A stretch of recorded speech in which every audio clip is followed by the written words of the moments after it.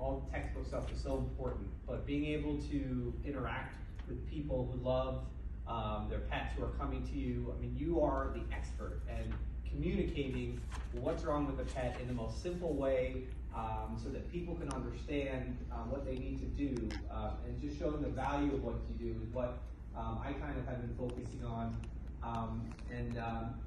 I'm going to do a shameless plug here. If you can follow me on Instagram, if you guys are all on Instagram at Boca Midtowne Vet, um, I put a lot of real pet stories on what we do and how we help um, pets to come into us, and people um, really are so drawn. And I've seen so many, uh, so much change in, in vet med, especially um, after COVID and with this pandemic, as and as far as social media